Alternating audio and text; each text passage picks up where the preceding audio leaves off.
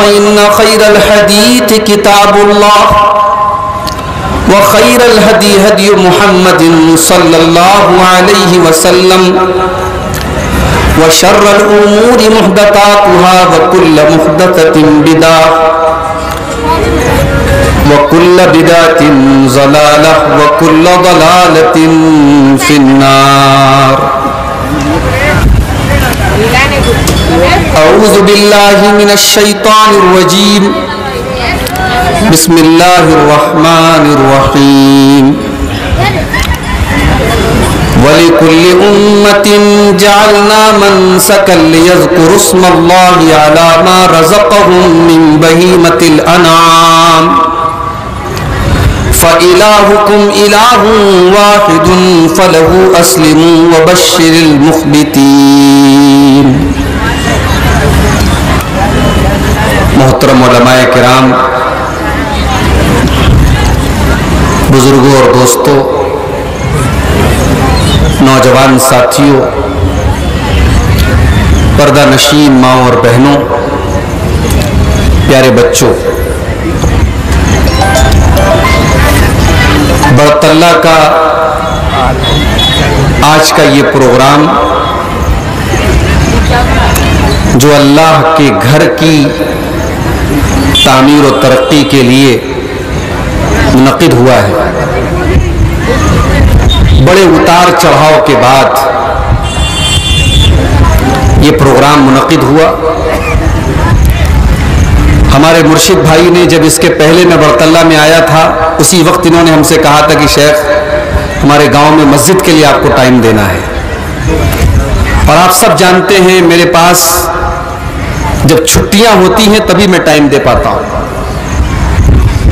मैंने बकरीद की ईद अजहा की छुट्टी में मौका समझते हुए आज की तारीख दी थी।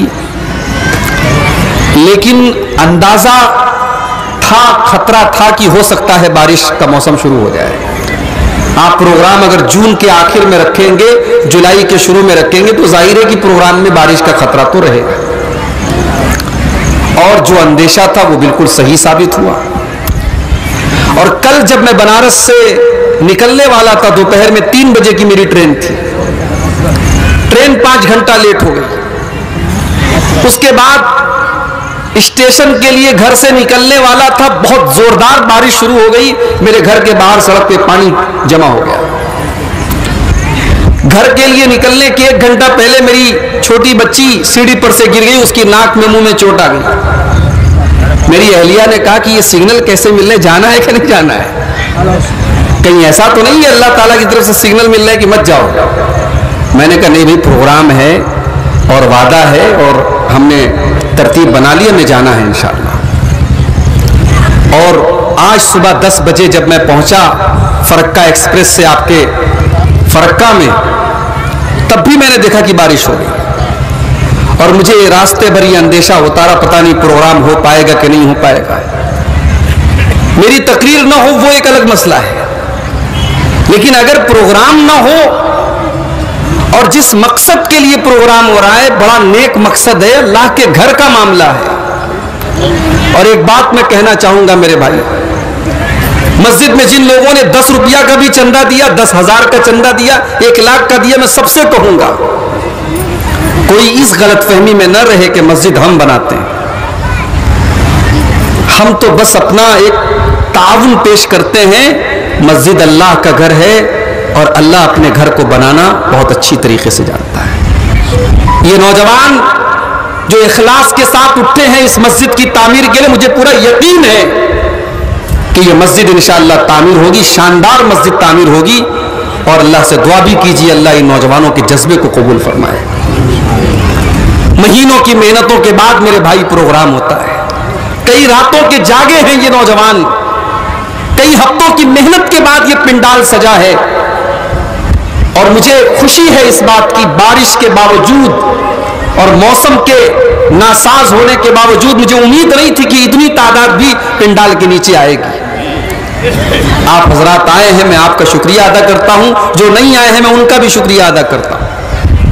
आप मेरी तकरीर सुन, सुने, न सुने, उससे अहम चीज़ ये है कि आप इस मस्जिद की तामीर में, जिसकी दस रुपये की हैसियत है, वो दस रुपया दे, जिसकी एक लाख की हैसियत है, वो एक लाख दे।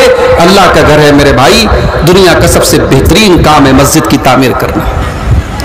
ईमान की निशानी है। अल्लाह ताला उन लोगों से मोहब्बत करता है जो उसके घर की तामीर में हिस्सा लेते हैं। अभी आपने सुना, शेख मुर्तजा साहब ऐलान कर रहे थे, साहब, ईटों का इंतज़ाम कर दीजिए। दस गाड़ी ईट का इंतज़ाम कर दीजिए। बहुत भाइयों ने अपना नाम भी लिखवाया कि हमारी तरफ़ से एक गाड़ी, हमारी तरफ़ से एक गाड़ी। अल्लाह की कसम, ये जो ईटें दी जा रही ना मस्जिद में, कल कयामत करूँगी ईटें गवाही देंगी कि अल्लाह इस मस्जिद की तामीर में इसका भी हिस्सा था। कयामत तक, जब तक ये मस्जिद कायम रहेगी, ज़ाहिर है मस्जिद आज बनी है, फिर टूटेगी सौ साल के बाद, पचास साल के बाद, फिर बनेगी। लेकिन कयामत तक ये मस्जिद कायम रहेगी। किसी ने अगर दस रुपये का भी ताउन किया है, अपने लिए किया है, या अपने माँ बाप की तरफ़ से किया है इसाल सवाब के लिए किया है, जब तक इस मस्जिद में अल्लाह का नाम लिया जाता रहेगा, सजदा होता रहेगा, तिलावत होती रहेगी, अल्लाह का ज़िक्र होता रहेगा, सवाब मिलता रहेगा। इससे बेहतरीन सदक़ जारिया नहीं है मेरे भाई। इसलिए मेरी आप सबसे गुजारिश है, अल्लाह के इस घर में आप बढ़ चढ़ करके हिस्सा लीजिए। कल कल जब इस जलसे की रिपोर्ट पेश की जाए और इस जलसे के बारे में लोगों का तासुर पेश किया जाए तो कोई ये ना कहे कि बारिश की वजह से प्रोग्राम हल्का हो गया और मस्जिद में जैसा चंदा होना चाहिए था, वैसा नहीं हो पाया। मैं चाहता हूँ कि रिकॉर्ड टूट जाए और लोग कहें कि हाँ बड़तल्ला में बारिश के बावजूद और रास्ता खराब होने के बावजूद उम्मीद से बढ़ करके बेहतरीन चंदा हुआ और मस्जिद तामीर हुई। अल्लाह हम सबको इसकी तोफीक फरमाए। मेरे भाइयों ये मौका ईद उल अजहा के त्यौहार का है।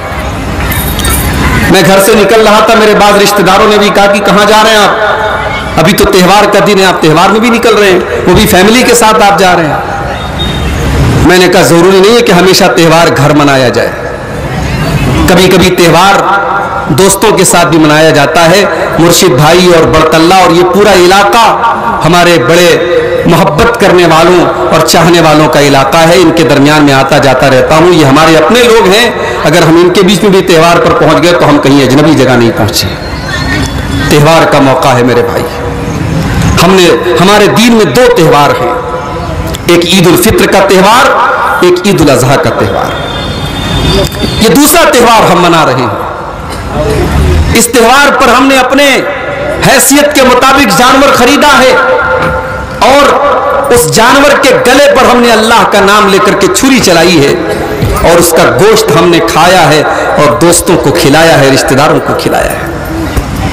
आप जानते हैं, दुनिया के हर मज़हब में खाना, खिलाना, दावत देना, ये सब हर मज़हब में है। इस्लाम इकलौता मज़हब है जिसने कुर्बानी के इस त्यौहार पर गोश्त को के खाने को, खिलाने को, दावत देने को भी इबादत बना दिया है। आप ये मत समझिए कि कुर्बानी आप जो कर रहे हैं वो एक रस्म है। नहीं, ये कुर्बानी भी इबादत है। जानवर के गले गले पर आपका छुरी चलाना इबादत है। फिर उसकी बोटी बनाना, उसका गोश्त बैठ करके बनाना, उस पर मेहनत करना इबादत है आपका। फिर उस गोश्त को हमारे माओ बहनों का अपने घर में मेहनत करके चूल्हे पर पकाना, तरह तरह के पकवान बनाना यह भी इबादत है। फिर उसको खाना, दोस्तों को खिलाना, गरीबों को देना, रिश्तेदारों को देना, पड़ोसियों को देना, ये पूरा प्रोसेस मेरे प्यारे साथियों, ये इबादत है। इसको इबादत समझ के कीजिए, इस पर आपको इंशाला सवाब भी मिलेगा। लेकिन आज की तकरीर में मैं जो बात कहना चाहता हूँ, कुर्बानी का ये त्यौहार जो हमने और आपने मनाया इसका मकसद क्या है? ये कुर्बानी का हुक्म क्यों दिया गया हमें? हमारे मुल्क में बहुत सारे लोगों को बड़ी तकलीफ़ होती है साहब। मुसलमान लोग ये बकरीद का त्यौहार क्यों मनाते हैं? क्यों बेजुबान जानवरों की हत्या करते हैं। दूसरे मज़हब के त्योहारों पर कितने मुर्गे कटते हैं, कितने बकरे कटते हैं, हमने कभी एतराज़ नहीं किया। लेकिन बकरीद के त्यौहार पर जब कुर्बानी होती है बहुत सारे लोगों के पेट में दर्द होने लगता है। यह मुसलमान, ये जीव हत्या करता है। ये जानवरों का गोश्त खाता है, बेजुबान जानवरों को मारता है। सवाल यह है कि इस कुर्बानी का मकसद क्या है? क्या इसका मकसद यही है कि हम गोश्त खा लें और खिला लें, बात खत्म हो जाए? नहीं। इस कुर्बानी का एक बड़ा अजीम मकसद है मेरे भाइयों, और जो आयत मैंने आपके सामने पढ़ी है सूर्य हज की आयत नंबर 34 है, आयत नंबर 34 है, इस आयत में अल्लाह ताला ने कुर्बानी का मकसद बयान किया है।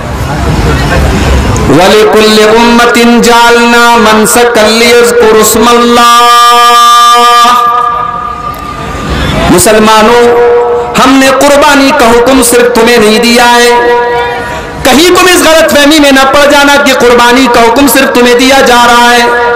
हर उम्मत के अंदर, हर कौम के अंदर, हर कम्युनिटी के अंदर, हर समाज के अंदर, हर कौम के अंदर हमने कुर्बानी का हुक्म दिया है, तुमको भी दिया है। मकसद क्या है?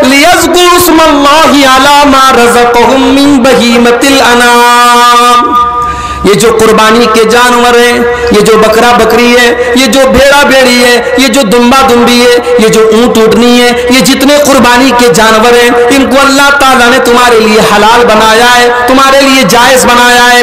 जब तुम बिस्मिल्लाह, अल्लाह अकबर पढ़कर जब तुम अल्लाह का नाम लेकर इन जानवरों को जबा करते हो, जब इनकी कुर्बानी करते हो, तुम अल्लाह ताला का शुक्रिया अदा करते हो, अय अल्लाह तू इन जानवरों को हमारी खुराक बनाया है, अय अल्लाह, इन कुर्बानी के जानवरों को तूने हमारे लिए गजा बनाया है, अय अल्लाह, इसलिए हम तेरा नाम लेकर के उनको जबा करते हैं, इसलिए हम इनकी कुर्बानी पेश करते हैं।